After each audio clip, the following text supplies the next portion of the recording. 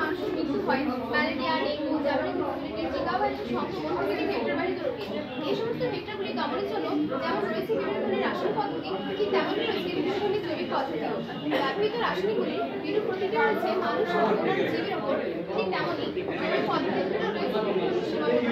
এই সমস্ত সীমাবদ্ধতাগুলি পদ্ধতিগুলি আমরা চেষ্টা করেছি। ছিল লার্ভার উপর মান ক্ষমতা পরীক্ষা করা, দ্বিতীয়ত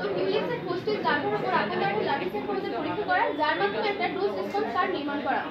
এছাড়াও এলসি ফিফটি বা এবং এলসি নাইনটি বা লেথার কনসেন্ট্রেশন সম্পর্কে ধারণা লাভ করা। আমাদের সর্বশেষ উদ্দেশ্য ছিল নন টার্গেট জীব হিসেবে দই বা অ্যানোয়া সিস্টেমের উপর মান ক্ষমতা পরীক্ষা করা। আমাদের কর্মপদ্ধতিগুলি আমরা দেখানোর চেষ্টা করেছি যেখানে এক চার নম্বর চিত্রে আমরা আপন দ্বারা সংগ্রহ এবং তার বিভিন্ন ধর্মের পরীক্ষা করেছি।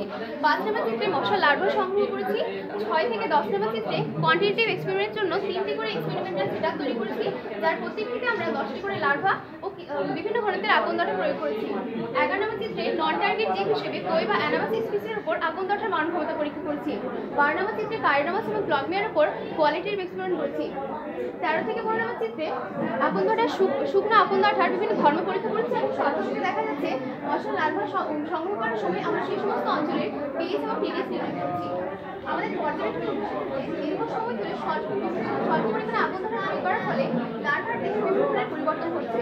যেখানে এক নম্বর চিত্রে এ দৃশ্যতে দেখতে পাচ্ছি জীবন্ত কিউলেক্স নার্ভার উপর আপন দ্বারা করার ফলে তার দেহ ক্রমশ কালো বর্ণ ধারণ করছে এবং এটি শেষ পর্যন্ত মারা গেছে।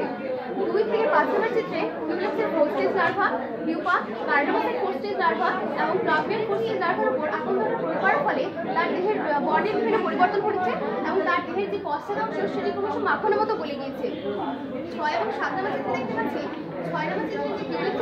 অংশটি, তার খাদ্যনালী এবং ট্রাকের অংশটি স্পষ্টভাবে বোঝা যাচ্ছে। কিন্তু সাত নম্বর চিত্রে প্রয়োগ করার ফলে তার যে পশ্চাৎ অংশটি কালো বর্ণ ধারণ করছে এবং সেটি আমরা ট্রাকের অংশ এবং খাদ্যনালীটি পৃথকভাবে বুঝতে পারছি না। আমাদের ফলাফলটিকে আমরা একটা টেবিলের মাধ্যমে উপস্থাপন করেছি যার মাধ্যমে একটা একটা ডোজ রেসপন্স কার্ড নির্ভর করছে। এই এক্স বিভিন্ন ঘনত্ব এবং ওয়াইফ উপর মশলা লার্ভার মৃত্যু হারিয়েছে।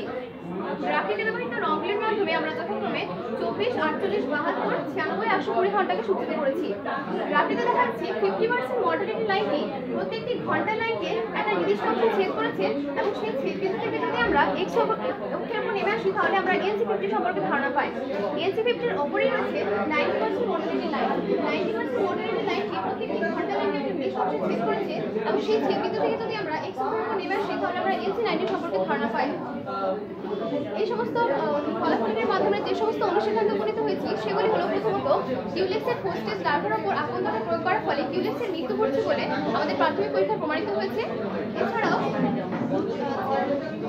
শুকনো আকন্দটাকে চব্বিশ ঘণ্টা জলে ভিজিয়ে রাখার পর তার যে প্রাপ্ত নির্যাস, সেই প্রাপ্ত নির্যাস থেকে আমরা কিউলেক্সের পোস্টেজ লার্ভাকে আটচল্লিশ ঘণ্টার কিছু বেশি সময়ে মৃত্যু হচ্ছে বলে আমরা সিদ্ধান্ত উপনীত হয় এবং সর্বশেষ দেখা আমরা নন টার্গেট জীব হিসেবে কই বা অ্যানামাসাস স্পিসির উপর যে আকন্দটা মানসিকতা পরীক্ষা করেছি, সেক্ষেত্রে আমরা দেখতে পেয়েছি যে কই মাছের ওপর আকন্দটা প্রয়োগ করার ফলে তার মৃত্যু ঘটছে।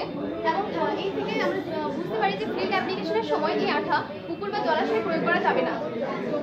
আমরা যে সমস্যা সমাধান করতে চেয়েছিলাম, তা অনেকাংশে সফ- সফল হয়েছে। বর্তমানে বিভিন্ন রাসায়নিক পরিবর্তে ডিপটেরা বর্গের লার্ভাকে দমনের জন্য আমরা আকন্দটাকে একটা বিকল্প হিসেবে ব্যবহার করতে পারি।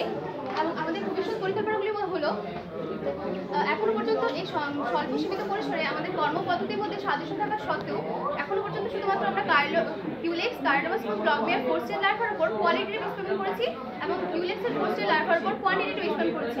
কিন্তু পরবর্তীকালে কার্ডোমাস ও ব্লকমেয়ার উপর আমরা কোয়ান্টিটিভ এক্সপেরিমেন্ট করব বলে আমাদের বিশ্বাস এবং শুকনো আবর্জনা প্রয়োগ করে তাদের কীভাবে দমন করা যায় তার চেষ্টা করব।